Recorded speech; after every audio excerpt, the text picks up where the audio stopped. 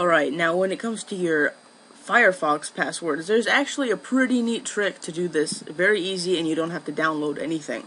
You're going to open up your Firefox. You're going to go to Firefox, uh, Help, and then you're going to click on Troubleshooting Information. Right after that, you're going to see this, just click on Open Containing Folder. This will basically open the folder in your computer that has everything related to file, uh, Firefox, including passwords.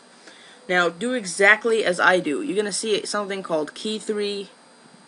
Click on that. But make sure you control click on that because you want to click on something else at the same time.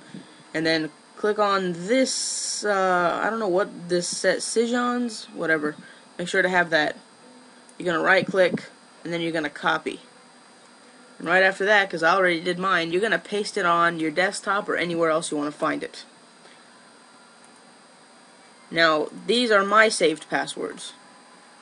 If you don't believe me, I just tested it out myself. I'm going to click the key and delete that. Oh, gotta close Firefox.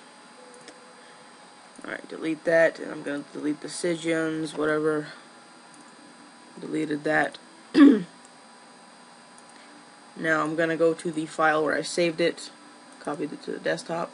I'm going to copy it back into my Firefox folder, paste. Yeah, yeah. You go back to YouTube, and now when you click, it logs you back in. There you go.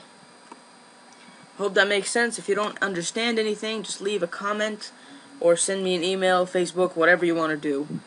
But uh, make sure you copy the these two files from your Firefox folder first before you do anything else.